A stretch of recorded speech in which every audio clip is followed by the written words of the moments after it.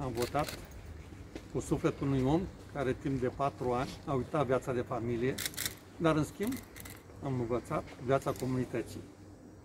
A fost o goană după proiecte, după bani, am depășit multe recorduri, ne-am enervat toți adversarii politici, poate unii s-au supărat mai mult sau mai puțin, dar am făcut-o doar pentru binele Iașului, pentru dezvoltarea Iașului.